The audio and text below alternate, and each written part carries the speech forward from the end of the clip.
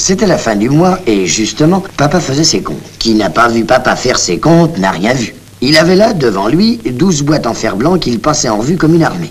Chaque boîte était pourvue d'une étiquette. Gaz, électricité, nourriture, entretien, vacances, etc. Chaque boîte contenait un petit compte et des billets et chaque mois, papa faisait le bilan. Tout est dans l'augmentation. Il y a des années que je ne verse rien dans la boîte maison de campagne, je me demande s'ils n'auront jamais de quoi la construire. Tu as éteint l'électricité dans l'antichambre? Euh, oui, je crois. Je crois, oui. Tu as une pièce de 100 sous sur toi Pièce de sauce. Oui, donne. Va ouvrir la fenêtre. Eh ben, va ouvrir la fenêtre. Voilà ce que tu fais quand tu n'éteins pas l'électricité.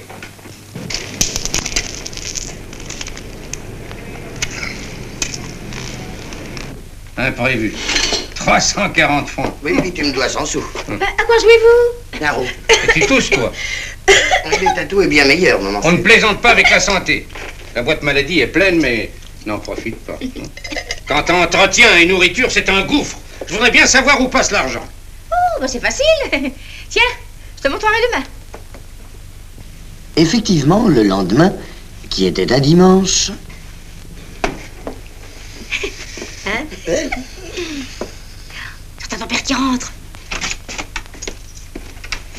Vite, j'ai exactement un quart d'heure pour déjeuner. Il y avait une élection partielle dans le secteur et, naturellement, papa faisait partie du bureau de vote. Qu'est-ce que c'est que ça? Ah, tu voulais savoir où passait l'argent, tu voulais la renseigner? C'est ça, qu'est-ce que c'est que ça? C'est teinturier. Paulette, apportez le rôti, monsieur est pressé. Papa boudait parce que papa, maman et moi, nous n'étions pas d'accord sur les candidats. Quant à la bonne, elle n'était pas inscrite. Mais elle avait demandé de l'augmentation.